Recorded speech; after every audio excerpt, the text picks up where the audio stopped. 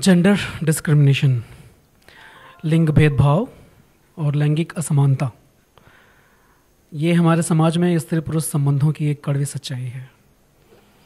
इस ज्वलनशील मुद्दे को लेकर बहुत सारे आंदोलन होते हैं समाज के स्तर पे, राजनीति के स्तर पे, स्वतंत्र स्तरों पे। लेकिन जब ये समस्या और इस समस्या के प्रति लोगों को जागरूक करने का जज्बा जुनून में बदल जाए तो उस जुनून से एक शक्ति निकलती है जिसका नाम है राइडर राकेश। राइडर राकेश जी आज आप हमारे साथ हैं। आपका बहुत बहुत स्वागत है हमारे कार्यक्रम में। बहुत धन्यवाद भाई।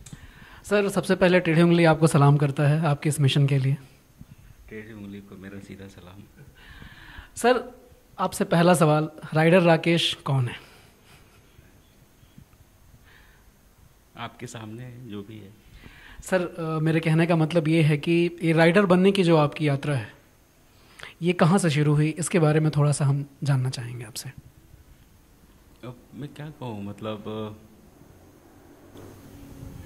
मेरे ख्याल से मेरे हर हर मेरे जीवन के अब तक के सभी स्टेप्स का उन तमाम प्रक्रियाओं का जहाँ से मैं गुजरा हूँ उस सबका योगदान होगा।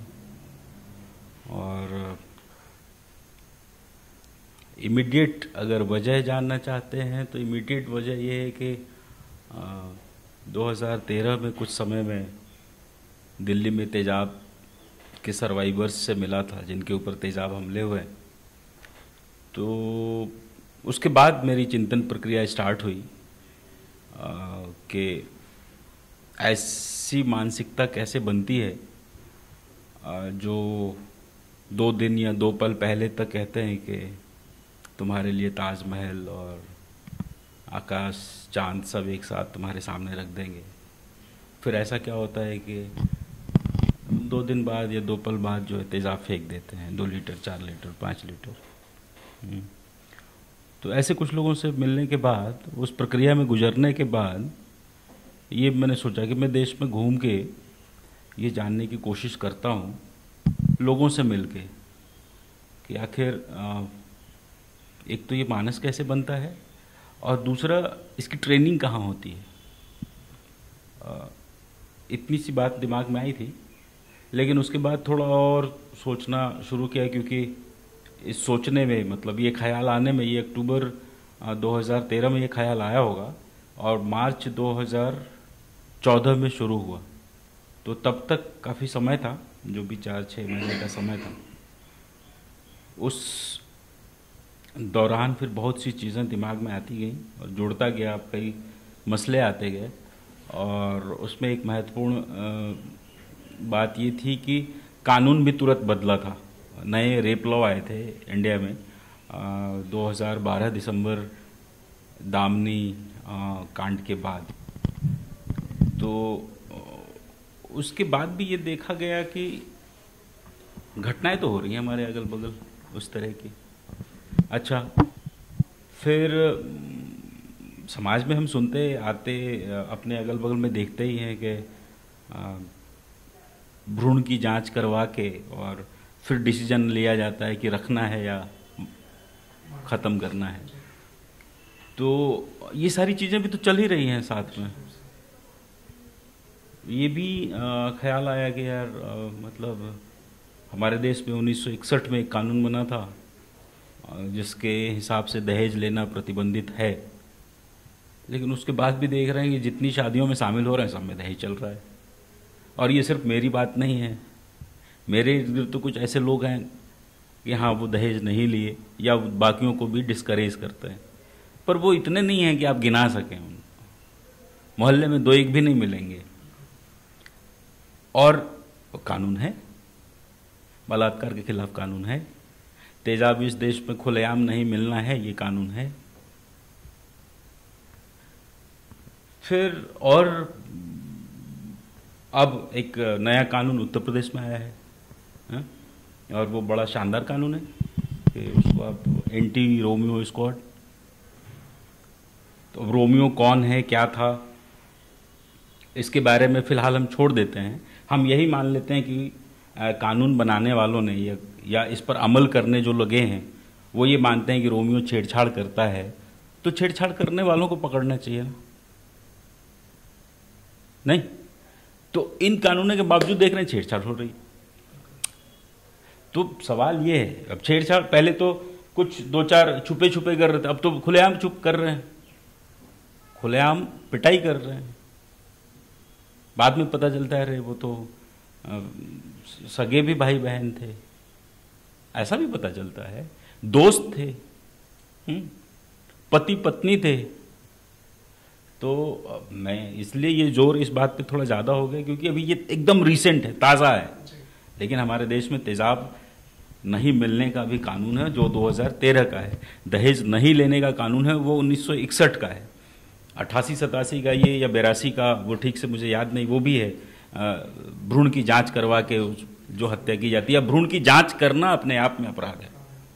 सभी जो रेडियोलॉजिस्ट हैं, उनको अपने बाहर ये लगाना पड़ता है कि यहाँ पे इस इस कानून के तहत इस इस साल के बाद से जो है ये काम, भ्रूण की जाँच करना दंडनीय अपराध है। इतने साल की सज़ा होगी उसके बाद भी चीज़ें चल रही हैं। और ऐसे लोग मेरी तो छोड़िए, आप, हम सबके अगल बगल में अड़ोस पड़ोस में सुनने को आती है। हुँ? हम्म? तो इन सबसे एक श्रृंखला बनी। फिर मुझे यही लगा कि यार, ये पक्का घूम के देखा जाए, ये नॉलेज आता कहाँ से? ये आइडिया आता कहाँ से? क्योंकि हम तो एक सामान्य बच्चे की तरह पैदा होते हैं। नहीं? और हमारे माता पिता का बचपन से हमारे ऊपर यही रहता है कि बाल बच्चा अच्छा रहे। हम सब जो अगर बाल बच्चों को ऐसे पालते हैं। और हमारा दावा भी है इस समाज में कोई नहीं कहेगा कि हमारा बच्चा अपराधी है। कोई नहीं कहेगा। और अपराध करने पर जो जमानत मानत करवाया जाता है, जो राहत दिलवाई जाती है, वो बहुत सगे संबंधी करते हैं। मान लीजिए कि किसी के ऊपर बलात्कार का आरोप है, उसको कानून से प्रोटेक्शन मिलना चाहिए, उसको अपनी बात कहने का पूरा अधिकार है, वो सिर्फ़ आरोपी है, हम उसको आरोप लगने से हम बलात्कारी नहीं मानते हैं। उस, लेकिन एक शक तो जाती है ना उधर। डाउट में आ जाता है। तो डाउट में आ जाता है तो उस डाउट को समाप्त करवाने में किसका सबसे ज़्यादा योगदान होता है? जो सबसे करीबी होता है। पिता, भाई, रिश्तेदार, मित्र, इस तरह के लोग होते हैं। तो फिर हमको ये लगा कि नहीं, ज़रा सा एक एक एकदम, क्या कहते हैं इम्पेरिकल एक स्टडी करने दिया जाए। मैं किताबों में फ़िलहाल नहीं ठहरना चाहता। उसके बाद सर आपने लैंगिक असमानता के विरुद्ध लगभग पूरे देश में यात्राएँ की हैं। ये समस्या क्या इसको सामाजिक समस्या माना जाए या मनोवैज्ञानिक समस्या कह सकते हैं? मनोवैज्ञानिक शब्द का इस्तेमाल इसलिए कर रहा हूँ कि एक मानसिकता की समस्या भी होती है। और चूँकि मानसिकता की जड़ें समाज में काफ़ी गहरी हैं तो उस परिप्रेक्ष्य में देखें तो शायद एक सामाजिक समस्या भी है ये।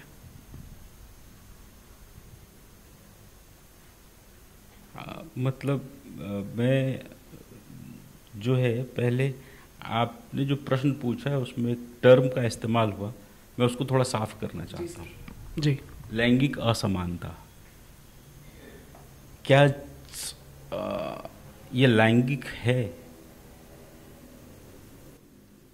मतलब मैं जेंडर की बात कर रहा हूँ। जेंडर को हम लिंग या लैंगिक या लैंगिकता कह सकते हैं। कह तो नहीं सकते हैं सर लेकिन चूँकि हमारा जो भारतीय सरकार भारत सरकार का जो राजभाषा आयोग है वो इसको इसी टर्मोलॉजी से जानता है। तो इसलिए क्योंकि यहाँ पे जो कानून बनाने वाले लोग हैं जिनके ऊपर पालन की ज़िम्मेदारी है वो सब इसी मानसिकता में हैं। ये बहुत अच्छी बात कही सर आपने। कि ये लैंगिक समस्या है लैंगिकता है। जैसे लैंगिकता कहते हैं एक को छोड़ के बाकी जितनी लैंगिकताएँ जिसको आप लैंगिकता आपके हिसाब से होगा जो पहचान है जो जितने जेंडर्स हैं उनको खारिज कर दिया जाता है। तो उस बात कौन करेगा? हाँ चलिए लेकिन आ, मैं ये कहूँगा कि आगे से मैं इसको स्त्री स्त्री पुरुष भेदभाव के रूप में कहता हूँ। हाँ, लेकिन तीसरा को तीसरे को चलिए सर जेंडर ही कहता हूँ मैं जो जेंडर का डिस्क्रिमिनेशन हाँ। तो सर ये क्या इसको सामाजिक समस्या मानी जाए? हाँ। या ये कहा जाए कि ये पर्सन टू पर्सन एक मानसिकता की बात है?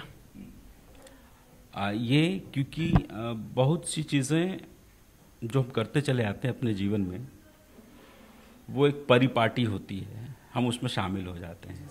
धारा बह रही है छोटे छोटे नाले मिल लेते हैं। तो हम नाले हैं वो पतनाले हैं।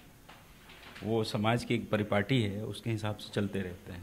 यानी ये चीज़ सर पहले प्रथा थी अब ये परंपरा हो गई अब ठीक है वो जैसे भी कहें आप। अब क्या है कि हमने कभी नहीं सोचा कि किस दिन हमको गाली देना आ गया। कोई भी खड़ा होकर ये कहे कि उसने अपने जीवन में कभी अपशब्द नहीं बोले और गाली नहीं दी तो बड़ा यकीन करना दुष् बहुत दुष्कर होगा। हम्म। तो आ कहाँ से गया? क्योंकि पिता ने सिखाया तो नहीं था। माता ने भी नहीं सिखाया था कि बेटा ये काम करो। उन्होंने डांट ज़रूर दिया था शायद कभी। लेकिन फिर भी हम सीख गए। कैसे सीख गए? कि पिता ने हमको तो डांटा, लेकिन हमारे सामने या हमारे पीछे उन्होंने कहा। वो भी कहा था। तो एक रिवाज बन गया। और मैं इसकी उसमें नहीं जाऊँगा कि कब हुआ, कहाँ से हुआ, किस जगह से आता है। हम जान रहे हैं कि ये गड़बड़ है ना? तो छोड़ दिया जाए। जान रहे हैं तो छोड़ दिया जाए। हम, हमारा पूरी प्रैक्टिस, जो जेंडर की प्रैक्टिस है, उसको देखें। तो जितने चेतनशील लोग हैं हम में से, या हमारे समाज का, जिसको आप समाज कहते हैं, समाज का चेतन तबका वो देखें, वो दहेज लेता है। क्योंकि चेतन तो वही हमको कहता है ना कि ये लीडर्स हैं सोसाइटी के। ब्यूरोक्रेट्स हों वैज्ञानिक हों, अकादमिक जगत में हों, मनोरंजन जगत में हों राजनीति में हों,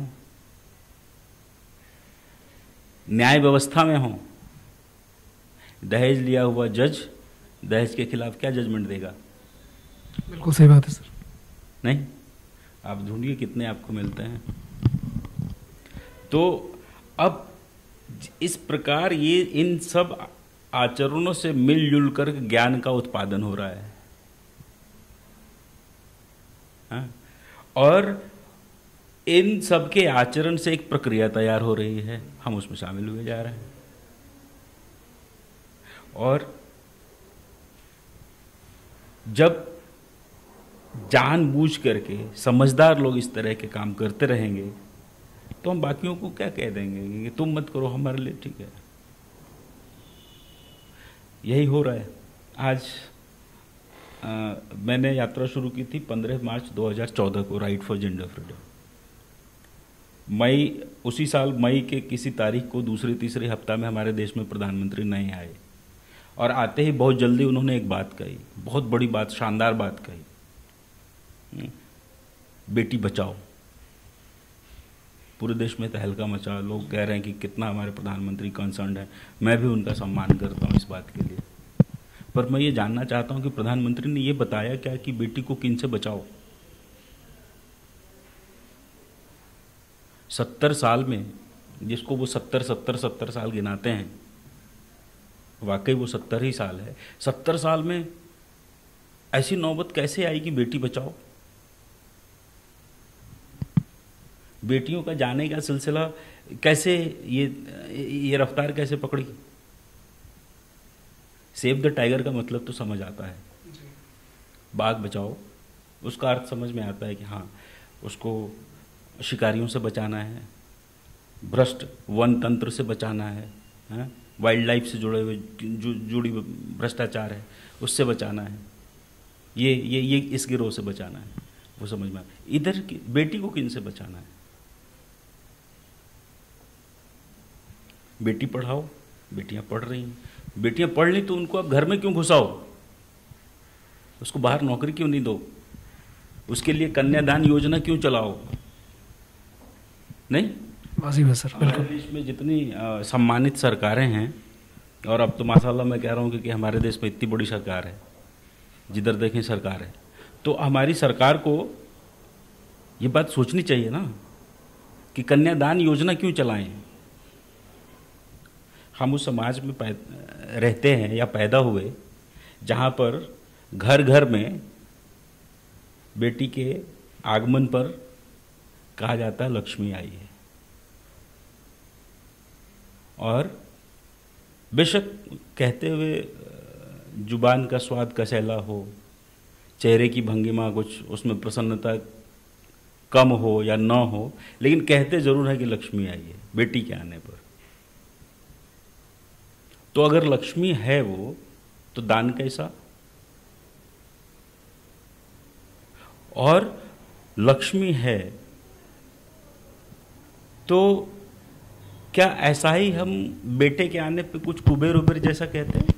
कुबेर कार्तिक गणेश अड़सठ सत्तर हज़ार हैं जितने भी हैं उनमें से किसी का कहते हैं? तो और हम तो साक्षात ये कहते हैं ना कि कन्या देवी हैं नारी देवी है। तो अगर वो देवी है तो उसका भाई मनुष्य कैसे हो सकता है? या कुछ वो कैसे और कोई जीव हो सकता है? तो देवता। तो होना चाहिए ना। तो नहीं। वो तो डिसीज़न मेकर है। वो तो एक लड़का है। उसके पैदा होने पे तो आप कहते हैं कुल का चिराग है। राइफल से गोली चलती है थाली पीटी जाती है। बहुत सारे रिवाज देश में घूम करके देखा है। हर भाषा में देख लिया। आ, सर क्या ये जिन चीज़ों की आप बात कर रहे हैं जिस तरह की मानसिकता की आप बात कर रहे हैं आपने तमाम यात्राएँ की हैं आपके पास अनुभव बहुत ज़्यादा हैं। क्या ये दक्षिण से लेकर उत्तर तक सर्वव्यापी समस्या है? कमोवेश हर जगह यही स्थिति है?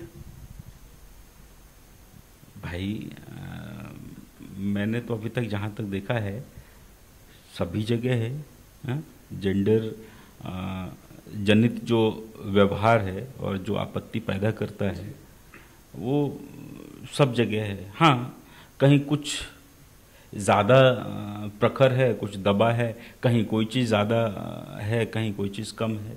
हम्म, लेकिन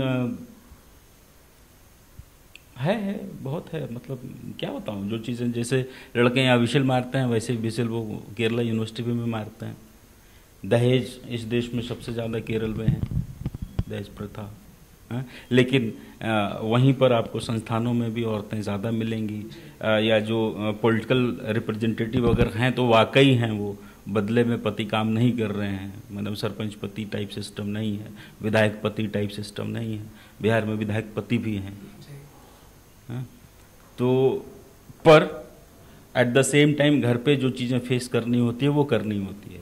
जो, जिस वायलेंस को इंस्टीट्यूशनल कर दिया गया है फैमिली सेटअप के तहत हो गया है वो उसका हिस्सा या उसका दुष्परिणाम वहाँ भी एक जेंडर को झेलना पड़ता है और ज़ाहिर है वो औरतें हैं हम्म, और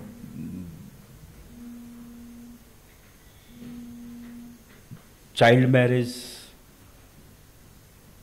आप कुछ भी ले लीजिए ना चाइल्ड मैरिज ले लीजिए आप आप बेटे की चाह ले लीजिए मानसिकता तो है ना जी मानसिकता है तो वो घटनाएँ तो होंगी ना। अब वहाँ भी अब लोग इसी परंपरा का वो निर्वाह कर रहे हैं, जहाँ पर घर का प्रधान एक खास जेंडर का है, जो पुरुष है। तो फिर उनके साथ वो प्रैक्टिस वो अपने हिसाब से सुविधा से कर रहे हैं ना। आपके पास जैसा मैंने कहा था पहले कि परंपराओं में चीज़ें चल रही हैं। वो एक ढर्रा बन गया है समाज का। आपकी शादियाँ कानून के हिसाब से नहीं हो रही है। वो परंपरा के हिसाब से हो रही है। मृत्यु और जन्म के समय जो कर्मकांड हो रहे हैं, वो एक खास परंपरा के हिसाब से हो रही हैं। तो जब ये दोनों चीज़ें, जैसे मृत्यु और जन्म और शादियाँ, ये तीन आपके जीवन के महत्वपूर्ण स्टेज है ना? इन तीन महत्वपूर्ण स्टेज में वो जातिवार व्यवस्था बनी हुई है। रोल, भूमिका तय है, जाति के हिसाब से तय है और जेंडर के हिसाब से तय है। है ना? धान छीटने और बांटने का जो काम है, वो नाई ही करता है। करता है ना? शादी में गीत गाने का काम औरतें करती हैं। और गहना सौंपने का काम पुरुष करता है। सभी रिवाज में यहाँ से वहाँ तक। तो ये परंपराएँ चल रही हैं और हम परंपरा पे आधारित समाज हैं। ठीक है ना? हमारा जो संस्कार है वो ये बन रहा है। तो इन संस्कारों के रहते रोल कहाँ टूट रहे हैं? रोल नहीं टूट रहे हैं ना? आ, लड़कियाँ बाहर निकल के काम कर रही हैं वो मतलब सीईओ हैं। हम्म, वो ब्यूरोक्रेट हैं। वो देश चलाने के लिए गए राष्ट्रपति बन गए और क्या कहें? हवाई जहाज़ में पता चलता है कि छः के छः क्रू मेंबर लड़कियाँ ही हैं। है? और आराम से हज़ार बारह सौ आदमी अपने एक जगह से दूसरी जगह चले जा रहे हैं, कोई दिक्कत नहीं है।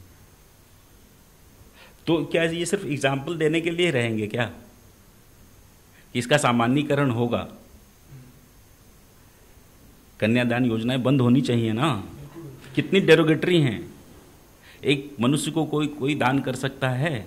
अपने संतान को दान कर सकता है? दान हमेशा वस्तु का होता है। दान वस्तु का होता है। लेकिन हम उस जिगर के टुकड़े को जिसको पैदा करते हैं, बहुत लार प्यार से, आधुनिक आधुनिक गार्जियन या आधुनिक अभिभावकों, माताओं, पिताओं के लिए ये बात सोचने के लिए है। वो तो बहुत प्यार करते हैं ना, वो तो चाहते हैं कि वो मतलब हवाई जहाज़ उड़ावे, एवरेस्ट पे चढ़े, लेकिन वो उसका शादी किसी अच्छे वर से ये वाला करके करना चाहते हैं, दान वाला। तो आपकी नज़र में स्थिति क्या रह गई? इसलिए इन परंपराओं से भी टकराना पड़ेगा। निसंदेह। तब ये व्यवस्थाएँ टूटेंगी। बलात्कार एक दिन में नहीं होता। नहीं। एक दिन में या कोई अभी तुरंत तय कर लेगी कि हम बलात्कार का मतलब हमारे डिज़ाइन में तो कभी ख्याल ही नहीं आता। आप भी सोचिए आता है क्या? नहीं आम भारतीयों को नहीं आता है। बहुत कम लोगों को आता है समाज में। लेकिन कैसे आता है, वो प्रक्रिया कैसे तैयार होती है, वो निर्माण कैसे होता है तो जब हम सोचते हैं, हम अपने घर में बच्चा के पैदा होने पर, जब हमारा बच्चा साल, डेढ़ साल का हो जाता है और अपनी ज़रूरत बताने लगता है, मम्मी, मच्छर काट लिया, पापा, तू तू जाएँगे तो उनको कैसे हम ये सब कराते हैं हुँ? हम्म? और उसमें फिर हम ये पाते हैं कि अगर मेल चाइल्ड है एक इंच चड्डी, ऐसे कर दी। नहीं मेल चाइल्ड है, एक इंच चड्डी, ऐसे कर दी। वो पंद्रह सेकंड में फारी। पाँच साल की उम्र तक आते आते इतना निर्भीक, निडर, बेशरम कॉन्फिडेंट हो जाता है कि किसी दीवार, सड़क मेड़ पेड़। कोई दिक्कत नहीं होती। और उसी उम्र में बेटियों को एक दूसरी ट्रेनिंग देते हैं। वो पाँच साल की उम्र तक आके वो बनियान अगर पहनी है तो उससे भी घुटने ढकना की ट्रेनिंग अपने आप सीखने लगती है, दीदी को देख के। एक तरफ़ आप खुले तौर पे बेशरम बना रहे हैं। बलात्कारी होने के लिए छप्पन इंच का सीना नहीं चाहिए।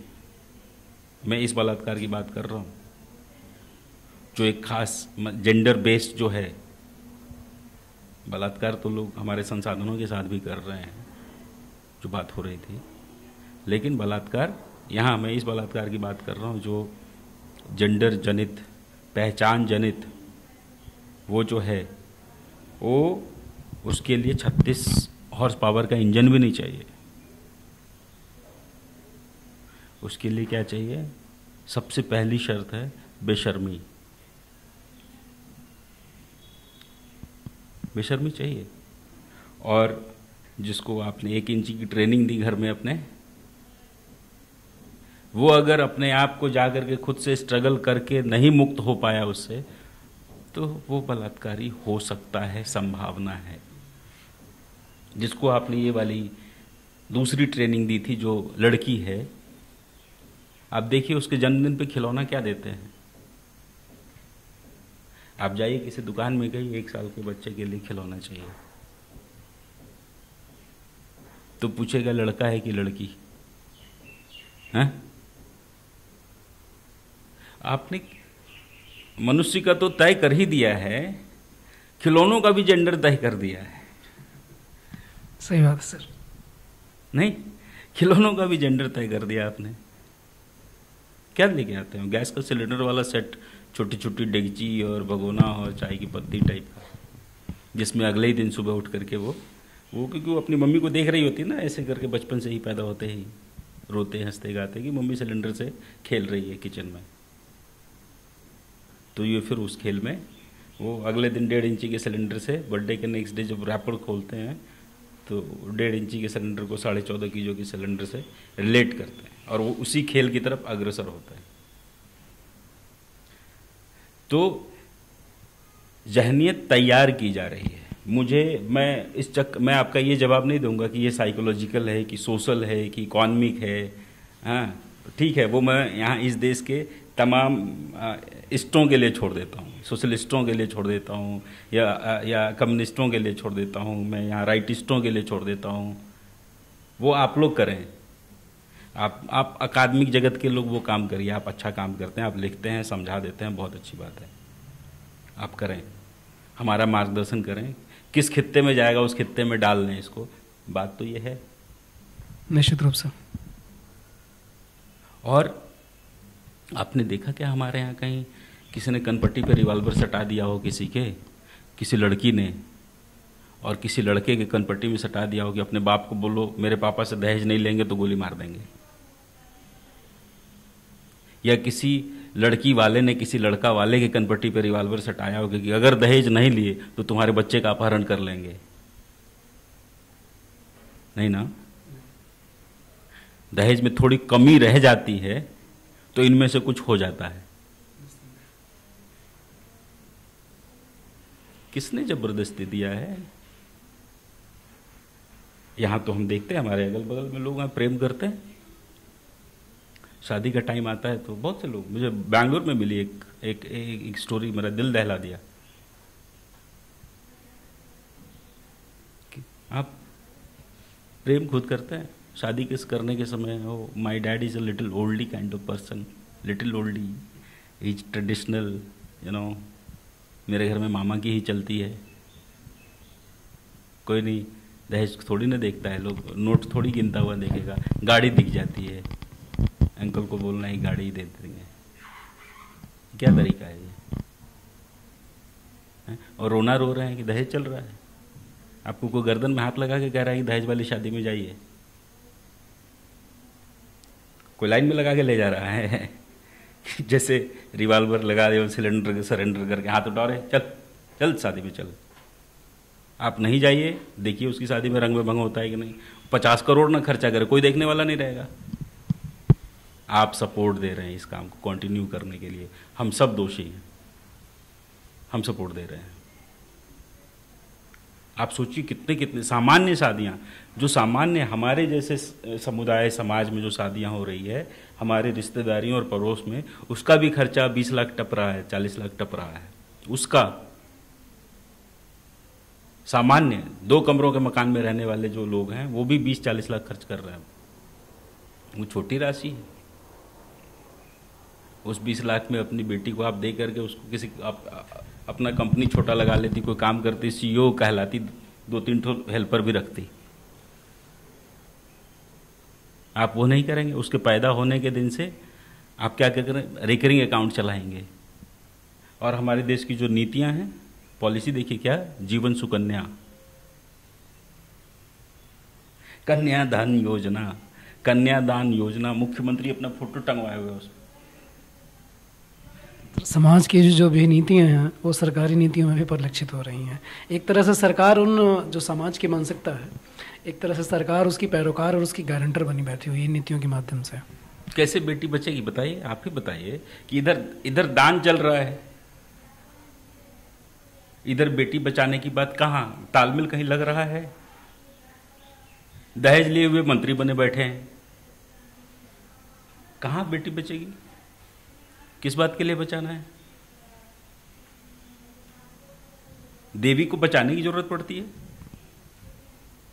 देवी को बचाने की भी ज़रूरत पड़ती है तो काहे काहे पाखंड करते हैं, फिर पूजा करने क्यों जाते हैं? देवी तो ताकतवर होगी ना। अब दुर्गा पूजा साल में दो बार यहाँ पे नवरात्रा होता है इस देश में। बहुसंख्यक आबादी करती है, जो कहते हैं ना, यहाँ बहुसंख्यक आबादी यहाँ की, जिनका ये देश है, जिस परंपरा का देश है, उस परंपरा में नौ नौ दिन, साल में अट्ठारह दिन उपवास करते हैं लोग, कम से कम। हालाँकि वैसे लोग हर हफ़्ते भी करते हैं। बहुत सारे दिन आते हैं, एकादशी वगैरह भी कई आता है, संडे आता है, मंगल आता है, बृहस्पति, शुक्र सब आते हैं। लेकिन ये सब खुदरिया हैं, थोक में नौ नौ मिलता है। और वो किसके नाम पे मिलता है? शक्ति के नाम पर,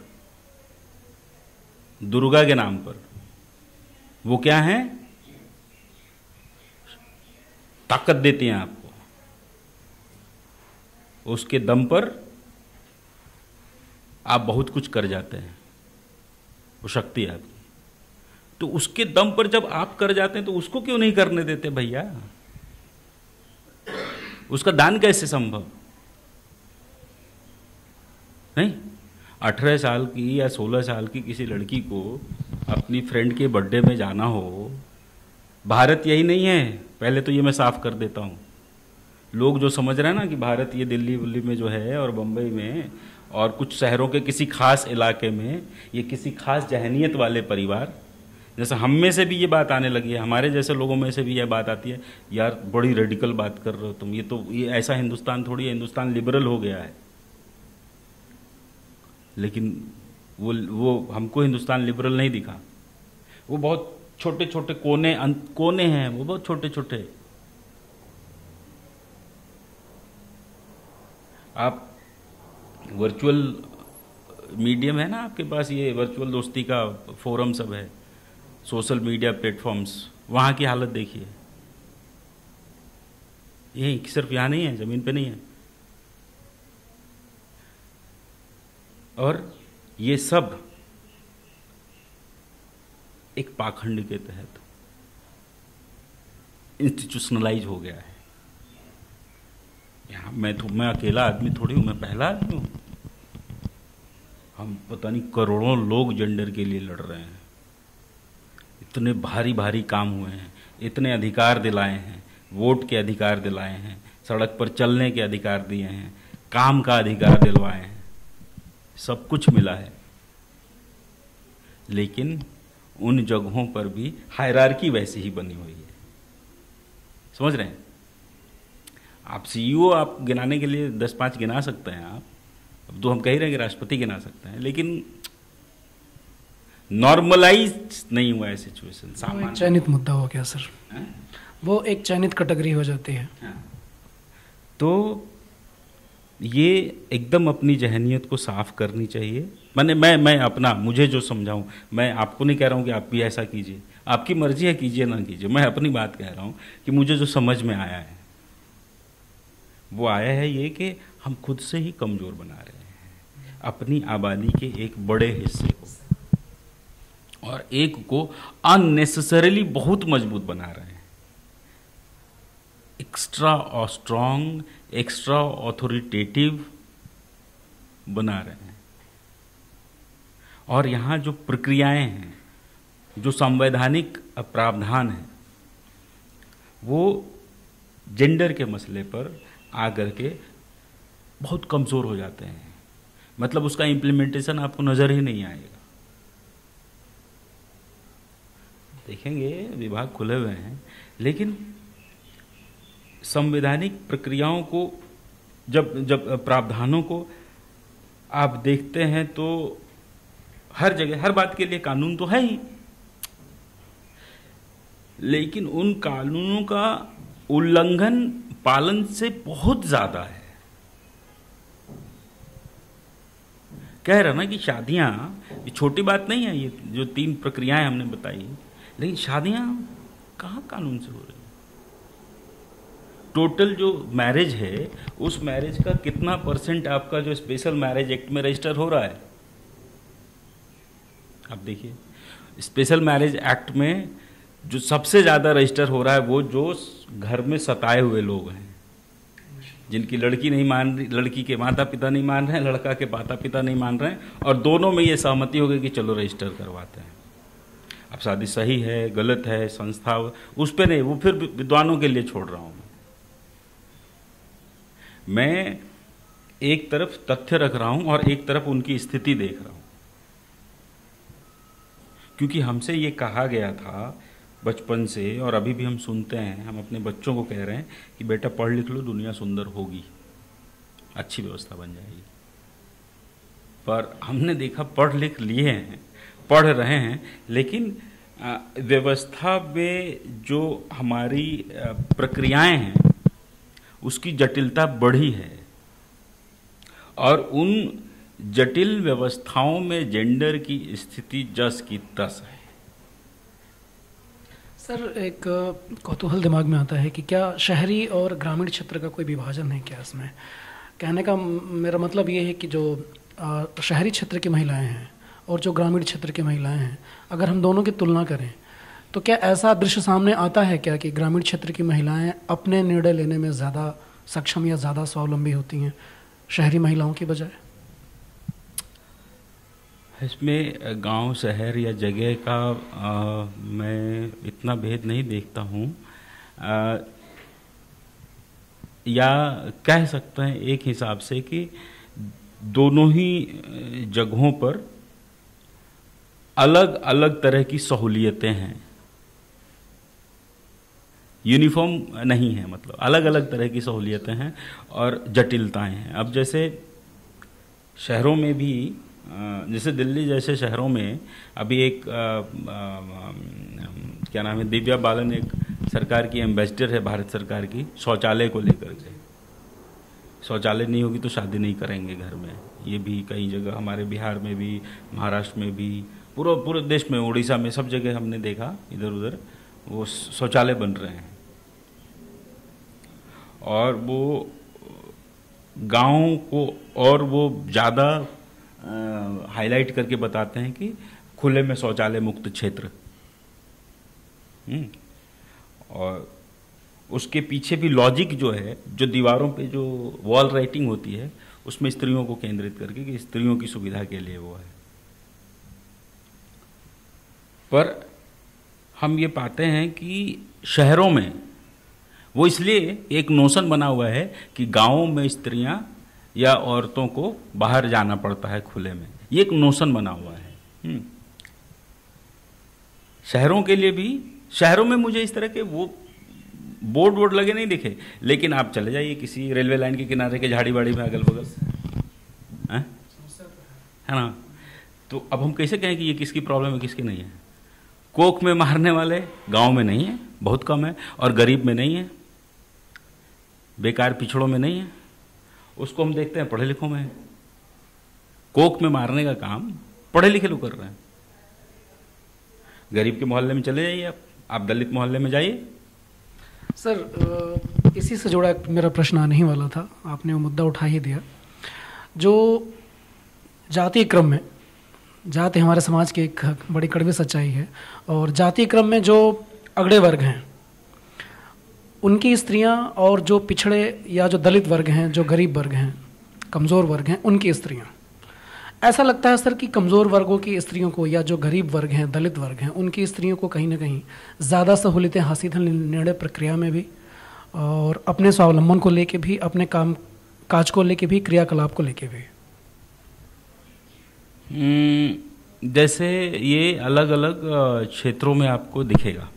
हम्म, ये जो आपका हिंदी पट्टी है, है जहाँ होने वाली गतिविधियाँ या जहाँ की परंपराएँ भारतीय मान ली जाती हैं। संदेह ठीक है? तो उस हिंदी पट्टी में आप पाएँगे कि हाँ जो गरीब कमज़ोर या दलित लाचार मैं दलित के साथ लाचार भी जोड़ रहा हूँ इसमें मुझे बहुत गाली पड़ेगी। लेकिन अमूमन स्थितियाँ ऐसी ही हैं। एक्सेप्शन बहुत कम है। वो पश्चिम उत्तर प्रदेश में सबल हैं या देश के कुछ हिस्से में सबल हैं। व्यापक तौर पर दलित के साथ लाचारी है। बिल्कुल। और दलित को और स्पेसिफाई मैं कर देता हूँ। आजकल लोग एक जगह मुझे टोक दिया तो मैं मूल निवासी भी कह देता हूँ। मुझे कोई दिक्कत नहीं, मैं सहमत हूँ, मूल निवासी। तो मूल निवासियों में लाचारगी की स्थिति है। उन लाचार समुदाय में जो, जिसमें मुस्लिम समुदाय भी आता है, उसको आप थोड़ा किनारे करें, क्योंकि वहाँ पर उसकी व्यवस्था थोड़ी अलग होती है। अदरवाइज़ आप आएँ, देखें तो क्योंकि कोई ऑप्शन नहीं है। जो तथाकथित सांस्कृटाइजेशन है, जो सांस्कृतिकरण है, वो उस तरह का नहीं है वहाँ पर। तो निर्णय लेने में भी सक्षम है? वो रोज़गार के लिए सक्षम है? कमाने के लिए सक्षम है? करने के लिए सक्षम है? वहाँ एक किस्म की सक्षमता है, पर जो व्यवहार, जो मोटे व्यवहार हैं, अब वो दलित समुदाय की औरतों पर अत्याचार जिसको जाति जनित अत्याचार आप कहते हैं पुरुषों के साथ हो सकता है कि काम करवा लिया जाता हो दो घंटे ज़्यादा या आ, अलग तरह का वायलेंस झेलना पड़ता हो डिस्क्रिमिनेशन झेलना पड़ता हो औरतों को जो उनकी औरतें हैं उनको इस सबके अतिरिक्त जो यौनिक हिंसा कहते हैं उनका शिकार भी ज़्यादा होना पड़ता है। और दिल्ली के आसपास आप इस बात को और नोट करेंगे। हरियाणा बहुत नोटोरियस है इसके लिए। और सिर्फ़ हरियाणा मतलब नोटोरियस यहाँ पे एक दो केस हुए हैं। नहीं तो बाकी, मैंने एक दो केस जो जंतर मंतर पर आकर के तक पहुँच पाए। बहुत से केस हैं जो कहीं नहीं पहुँच पाते। अभी हमारे हाजीपुर में हुआ है। स्कूल के अंदर एक स्टूडेंट को, वहीं टीचर्स वगैरह ने गैंग रेप करके नाली में फेंक दिया। डेल्टा में इकबाल है, राजस्थान में, जिसका केस काफ़ी सोशल मीडिया पे भी आया है। इस बहुत सारे केस हैं जो आते नहीं हैं। मैंने, वही नहीं है जो हमको दिखता है। वो बहुत बड़ा भारत वो है जो नहीं दिखता है। उसमें, परंतु जो सुविधाओं का मामला है, जिसको कहता है कि पढ़ाई लिखाई के साथ जो थोड़ा एडवांसमेंट उस एडवांसमेंट में भी अब हम उत्तर भारत में खास करके हम ये पा रहे हैं कि जो जो वंचित तबका है, जो दलित तबका है, जो कमज़ोर तबका है, जो लाचार तबका है, जिसने लंबा समय समय वंचना देखा है, झेला है, आज वो उनकी रफ्तार जो है जीवन को सरल करने की दिशा में जो प्रयास होते हैं अपॉर्चुनिटी की तरफ़ वो ज़्यादा तेज़ी से बढ़ रहे हैं। वो बहुत सकारात्मक बदलाव दिखता है। वो ज़्यादा खुले हैं। उनकी, वो प्रतिक्रियावादी नहीं है। माने प्रतिक्रियावादी मतलब कि उनको बहुत बात, बहुत जल्दी किसी उस पर जो है कि निर्णय उर्णय नहीं लेते हैं। उनका टारगेट है। उनका टारगेट है कि हाँ हमको स्वावलंबी होना है। बहुत दकियानूस नहीं है। लेकिन जैसे ही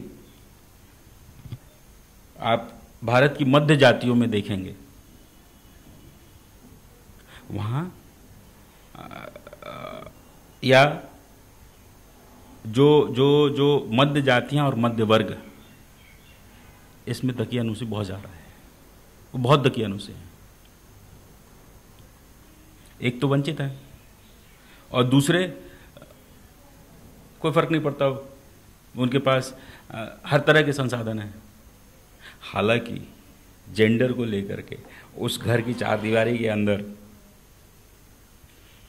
ऐसे परिवार में मैं मिला, औरतों से मिला वो औरत कह रही कि इस घर में पिछले तीन साल से ये टीवी मेरा दोस्त है। मैं इसी के साथ सबसे ज़्यादा समय बिताती हूँ। और वो औरत, आप यकीन मानिए, उनके पास हिंदी जानती हैं, अंग्रेज़ी जानती हैं, नेपाली जानती हैं भोजपुरी जानती हैं और बांग्ला जानती हैं, पाँच भाषाएँ जानती हैं। बिहार की छपरा की है। ओरिजिन। पैदा हुई बंगाल के दार्जिलिंग में। वहीं पर ग्रेजुएट हुई। भाषा की पढ़ाई करी, अंग्रेज़ी भाषा पढ़ी। क्योंकि छपरा की है तो घर में भोजपुरी बोली जाती थी। वो उस समाज में है, इसलिए वो बांग्ला बहुत आराम से जान गई। दार्जिलिंग में है दार्जिलिंग की आबादी में बड़ा हिस्सा नेपालियों का है तो उसने नेपाली सीख लिया। तो वो पाँच भाषाएँ जानती है, ग्रेजुएट है, उसकी शादी जाति के हिसाब से करनी थी, परंपरा के हिसाब से करनी थी, धर्म के बताए रास्ते पर करनी थी, इसलिए उसकी शादी उससे कम पढ़े लिखे, लेकिन होनहार पैसे वाले ज़मींदार परिवार से करना था, वो छपरा के गाँव में पहुँचा दी गई, दार्जिलिंग के बाज़ार से, शहर से। जहाँ अपॉर्चुनिटी थी, यहाँ से ज़्यादा, अब वो सिर्फ़ उसको घर में ला के बंद कर रख दिया। वो उसके जिम्मे आ गया है, घर में काम। तीन टाइम भोजन, लोगों के कपड़े उपड़े की सफ़ाई, मशीन मशीन है, लेकिन मशीन में घुमाना उसी को है। निकाल के सुखाना उसी को है। मशीन ने जीवन इतना सरल कर दिया कि ये नहीं करना पड़ता, मशीन बाकी सब काम करना ही पड़ता है। और बाकी समय में उसके पास कुछ नहीं है, उसको सिर्फ़ टीवी देखना है। वो ये कहती है कि तीन साल से मैं यही कर रही हूँ। अगर ये विकास हुआ है तो सलाम है भाई। नहीं हुआ है तो आप पूछो कि क्यों नहीं हुआ है। मैं ये चीज़ भारत के लोगों को ला के बता देना चाहता हूँ। सर, साइकिल से आपने भारत के तमाम हिस्सों की यात्राएँ की। हर जगह आपने लोगों को शिक्षित करने की, लोगों को बताने की कोशिश की ही होगी जेंडर डिस्क्रिमिनेशन के बारे में। आपके मिले जुले अनुभव क्या रहे, सर? क्या लोग इन बदलावों के प्रति सकारात्मक दिखते हैं, या अभी शायद लंबा वक्त या लंबा सफ़र तय करना है हम लोगों को? देखिए मैंने, मैं इसको किसी टाइम फ्रेम में नहीं देख रहा हूँ। और ना मेरे मन में कहीं ये रत्ती भर भी भ्रम नहीं है, धूल बराबर भी, कि मेरे घूम लेने से भारत में जेंडर की समस्या समाप्त हो जाएगी। समझ गया ना? तो ये तो बिल्कुल ही निकाल दीजिए जहन में से। मैं कुछ भी नहीं मैंने पहले कहा कि यहाँ बहुत सारे लोग पहले से कर रहे हैं काम। सर पूछने का मेरा मतलब ये था। हाँ। मेरी इस यात्रा का जो जो सबसे बड़ी ताकत है या जो मोटिवेशन है वो यही है कि मुझे तत्काल लोगों के चेहरे से जवाब मिल जाता है। तत्काल लोगों के व्यवहार से जवाब मिल जाता है।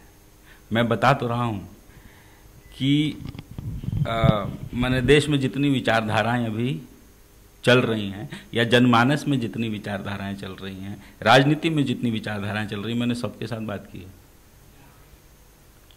मुझे सबसे नई पार्टी, आम आदमी पार्टी के लोगों ने यूपी में मुझे माला पहना दिया। मैंने रितंबरा साधु के स्कूल में जाकर के भी बात कर ली। समाजवादी पार्टी के कार्यालय में भी चला गया। कांग्रेस के लोगों के पास भी जाके बात कर ली। मंदिर में चला गया। मजार और मस्जिद पे चला गया। ठीक है ना? मैं सिनेमा हॉल पे चला गया। बस स्टैंड पे चला गया, रेलवे स्टेशन पे चला गया, स्कूल में चला गया, कॉलेज में चला गया, खेत में चला गया, आँगन में चला गया। किसी जगह से मुझे धक्का मार के बाहर नहीं किया गया।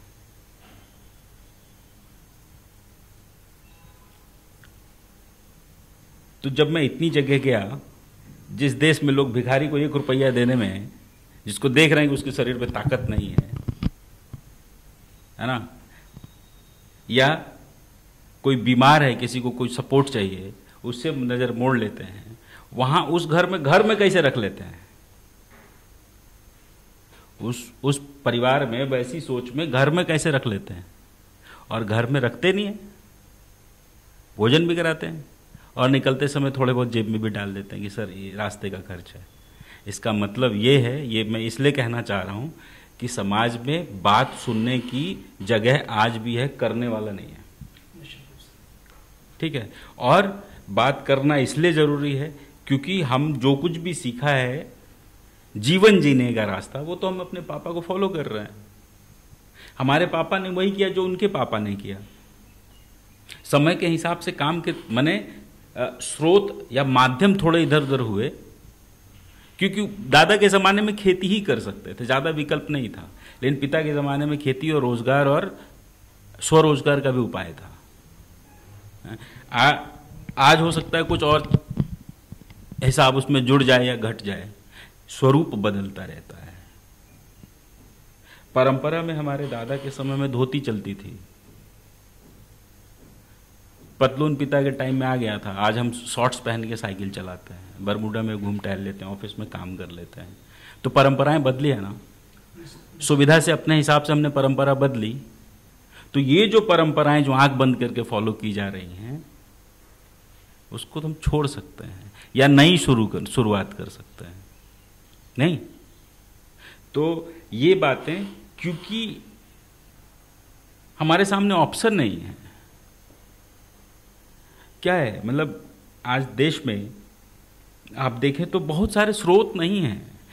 मतलब दैनिक जागरण, आप आप वो लाइब्रेरीज कुछ या कुछ विश्वविद्यालय कुछ संस्थाएँ, कुछ केंद्र एक्चुअली वहाँ पे नॉलेज संग्रहित है। वो नॉलेज वहाँ पे संग्रहित है। वो फ़ील्ड वर्क करके जो आए वहाँ से पीएचडी करके वहाँ पे, वो नॉलेज वापस नहीं गया। यही हाल है जेंडर का भी। वो नॉलेज वापस नहीं गया। उनकी स्थिति पे किताब लिखी गई, बहुत जगह गया, उनके बीच में नहीं गया। उन परिवारों में चर्चा नहीं हो पाई, ज़्यादातर। तो इसलिए हमारे पास कैसे पता चलेगा कि ये भी ऑप्शन है? मैंने लोगों को हैरत होगी जान करके, लेकिन मैं ये बता रहा हूँ कि अभी भी ऐसे लोग ज़िंदा हैं, जो कहेंगे हमने रेल नहीं चढ़ा है, हम मोटर नहीं चढ़े हैं। लेकिन हम दिल्ली में एसी बस में चलते हैं। मुंबई में बिना लोकल के काम नहीं चलता है। और जब ये भी है तो हमारे ज्ञान प्रसार का स्तर तो होना चाहिए ना कि वहाँ तक जाएँ। नहीं, हमारा तो उसमें कुछ है, मन है उसमें कुछ दिक्कत है। वो जा नहीं रही है बात। लोग चाहते हैं। वो भी चाहते हैं, उनको पता ही नहीं है। उनको जब पता चलता, अरे हिसाब से भी ये बीमारी ठीक हो जाएगी। ओह sorry sir I had no idea now I came to realise that why my relationship in such a bad safe I am sure I am going to recover क्यों? क्योंकि वो मान के चल रहे थे, वो अपने गर्लफ्रेंड से इतना उम्मीद कर सकते है? जिसको कि हम ऐसे थोड़ा और उस लहजे में हम कहते हैं कि हाँ टेकन फॉर गारंटेड वाली बात। तो ये मानते हैं इतना कर सकता है। लेकिन उतना ही अब वो अगर अपेक्षा उधर से हम नहीं बर्दाश्त कर पाते हैं। और ये ऐसा करते हैं। हम है मतलब जैसे कहते हैं ना कि, कि स्पेसेस का उल्लंघन तो है ना। क्यों मने? ये ये झगड़ा क्यों है? आप किसी के स्पेस में कब्जेदारी कर रहे हैं प्रॉब्लम तो वहीं से स्टार्ट हो रही है ना। तो जेंडर की समस्या अलग थोड़ी है। जेंडर में भी तो वही बात है ना। आप देखना चाह रहे हैं कि उसके इर्द गिर्द क्या है। उसका क्या है? क्यों उसका है? होना, क्यों चाहिए? ये तो हमारे पे ठीक लगता है। आज़ादी मतलब यू नो मतलब हम ग्यारह बजे भी आ जाए कोई दिक्कत नहीं है। ये हमारा है, इस तरह का है। ये हम ये लड़कियों को सुरक्षा, उनकी सुरक्षा का इंतज़ाम किया जाना चाहिए। अरे भैया, आप अपना काम करो ना, वो सुरक्षित ही है। आप अगर रास्ते पे सीधे चले जा रहे हैं, आपको टक्कर मार नहीं सकते, आपको दिख रहा है ठीक से, आपको टक्कर मारने की ज़रूरत क्या है? तो जब आप टक्कर नहीं मारेंगे तो हम बगल से गुजर रहे हैं तो हमको क्या प्रॉब्लम हो जाएगी? तो प्रॉब्लम तो वहाँ होगी ना, जब हम लाइन क्रॉस करेंगे। पीली रेखा से आगे ना जाएँ। मेट्रो में कहते हैं ना कि पीली रेखा से आगे ना जैसे ही आप पीली रेखा क्रॉस करते हैं, वो टक्कर की संभावना बढ़ जाती है। तो हमारी आदत है पीली रेखा को क्रॉस करने की। चलने की नहीं क्रॉस करने की। और इसको वैलिडिटेट कौन करता है? इसको वैधता कौन प्रदान करता है? हमारी परंपरा। हमारी शिक्षा व्यवस्था।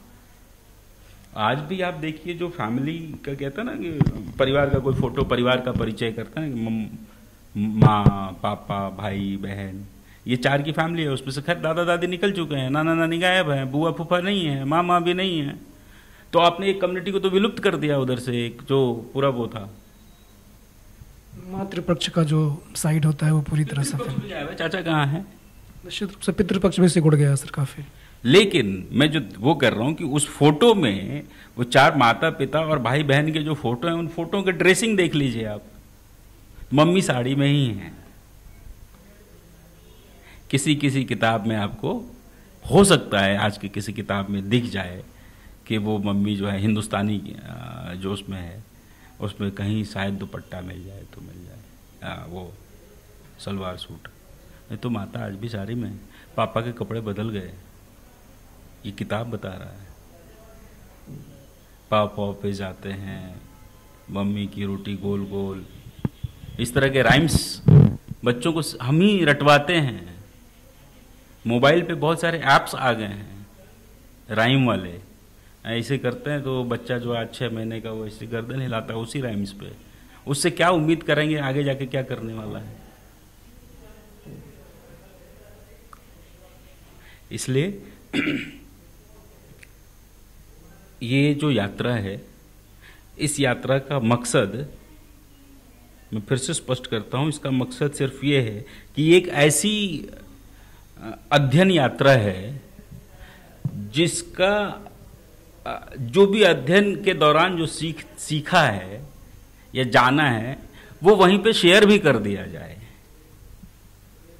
सबसे ज़्यादा ज़रूरी यही है सर। हमसे लोग हमारे मित्र ये उम्मीद करते हैं कि मैं कोई किताब लिखूँगा। उम्मीद करते हैं कि मैं कोई किताब लिखूं। और क्योंकि मैं लेखक हूँ, बिना लिखे रह नहीं सकता हूँ,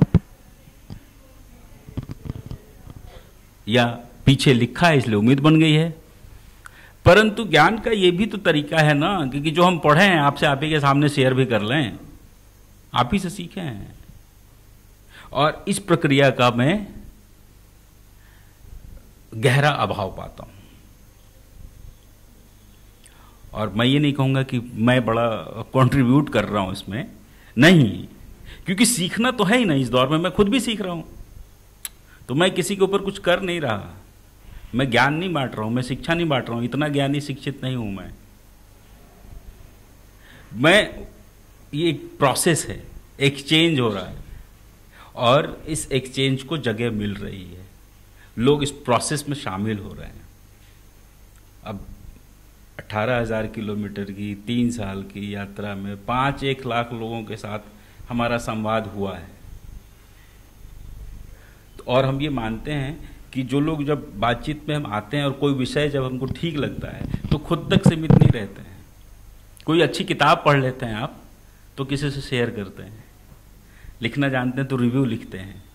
नहीं, कोई फ़िल्म देखते हैं तो रिव्यू लिख देते हैं या बात कर लेते हैं। तो ऐसे ही किसी इंटरेस्टिंग आदमी से मिलते तो उस आदमी से आप किसी और से मिलवा भी लेना चाहते हैं। किसी इंटरेस्टिंग औरत से मिल लेते हैं किसी लड़की किसी लड़के कोई दोस्त मिल जाता है आपको जीवन में और इंटरेस्टिंग है। और आपको लगता है कि, कि सिर्फ़ इन तक या हम तक नहीं है तो आप तीसरे को पहुँचा देंगे। तो मैं ये मानता हूँ कि इस बातचीत इस प्रक्रिया में बहुत सारे लोग शामिल हो गए। और फिजिकली भी 2018 तक हम चलने वाले हैं। तो 2018 तक हम जहाँ भी जाए पहुँच पाएँगे जहाँ तक, उन सब जगह से कुछ लोग जो आज भी संपर्क में हैं, संवाद में हैं, इच्छुक हैं, दिलचस्पी बरकरार है, हा? वो सब फिर हम लोग एक जगह इकट्ठा होंगे समापन के दौरान और हम लोग अलग चीज़ों पे बात करेंगे। अभी तो हमने प्रक्रिया पे बात की है ये मानस बनता कैसे है कि दो मिनट में तेजाब लेके दौड़ जाते हैं? अभी कुछ हम इस तरह की बात कर रहे हैं? ऐसी कुछ सीख ये प्रश्न है पाँच। ये कहाँ से होता है? बलात्कार की पाठशाला कहाँ है? भ्रूण में मारना कहाँ सिखाया जाता है? वो गुरु जी कौन है जो छेड़ना सिखाता है? लेकिन हम जानते हैं कि बैलून में पानी भर के हम यहाँ पे हम अपने बच्चे को पकड़ा देते हैं, होली पे वो पटक देते हैं। तो बचपन में पटकेगा तो थोड़ा बड़ा होगा, क्यों नहीं पटकेगा? हम उसको पलीते में आग लगाना सिखाते हैं कि नहीं सिखाते? फुलझड़ी पकड़ाते हैं ना? ऐसे प्यार से। तो कल को वो अपनी मर्ज़ी से अगर फुलझड़ी और बड़ा वाला छोड़ना चाहे तो दिक्कत आपको आएगा कि कान में आवाज़ आ रही है। बंद करो। आप यहाँ बंद करो ना। तो अब हम उस पर बात करेंगे कि विभिन्न प्रक्रियाओं से गुजरकर जेंडर की जो एक समझ पैदा हो गई जेंडराइजेशन की प्रक्रिया को हमने समझ लिया जेंडर निर्माण की प्रक्रिया को समझ लिया, गलत सही जैसा भी समझा। जज साहब फैसला करेंगे कोई? होंगे घूम टहल रहे होंगे, समाज में वो करेंगे। लेकिन अभी तक कोई जज साहब ऐसा नहीं मिले जिसने गर्दन में हाथ लगा कहा कि भाग यहाँ से, तुमने गलत बात कही है। यानी मैं मानता हूँ कि, कि लोग प्रक्रिया में शामिल हो रहे हैं। तो अब हम ये करेंगे कि जेंडर रिलेशन को प्रभावित करने वाले कारक क्या है? अभी जेंडर आई जेंडर निर्माण कैसे होता है? अब जेंडर के व्यवहारों को प्रभावित करने वाले दूसरे प्रक्रिया खेती बिगड़ी। और तय करने का वक्त आया कि पौष्टिक किसको खाना है? पानी आया घर में, तीस या बीस या पंद्रह गगड़ी तीन किलोमीटर, पाँच किलोमीटर से सिर पे ढो के और पता चला कि पहले तीन गगड़ी से वहाँ पे बैठा हुआ उस घर का मुखिया नहा लिया।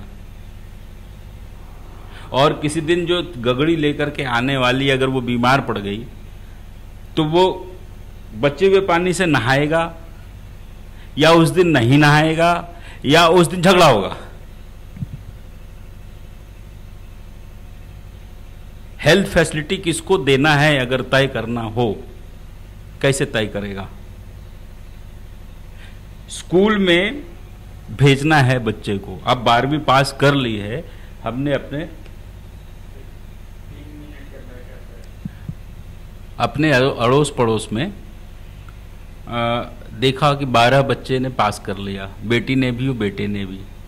दिल्ली भेजना है पढ़ने के लिए पूना भेजना है। तो हमको हमारी पड़ोसन बता रही है कि छोटू का एडमिशन जो है मैसूर में करवा रहे हैं। उसकी बड़ी बहन वहीं पे ग्रेजुएशन कर रही है। ऐसी छोटी और ऐसी गुड़िया कितने देश में? ये चीज़ें फिर हम इकट्ठा होने पे बात करेंगे। अभी तो ऐसे लोग जो जिन्होंने जनरलाइजेशन की प्रक्रिया को पकड़ी, अब वो सब मिलके इन प्रोसेस को चैलेंज करेंगे। राकेश जी आपने हमें समय दिया। हमसे इतनी सारी बातें की तमाम मुद्दों के ऊपर इसके लिए बहुत बहुत शुक्रिया आपको। और टेढ़ी उंगली की तरफ़ से आपको बहुत बहुत शुभकामनाएँ आपके मिशन के लिए। बहुत बहुत धन्यवाद साइकिल से जेंडर डिस्क्रिमिनेशन जैसे मुद्दे पर लगभग पूरे देश को नापने वाले राइडर राकेश के साथ बातचीत अब हम यहीं ख़त्म करते हैं। कैमरा पर्सन प्रदुम्न के साथ सिद्धार्थ प्रदर्शी नई दिल्ली टेढ़ी उंगली।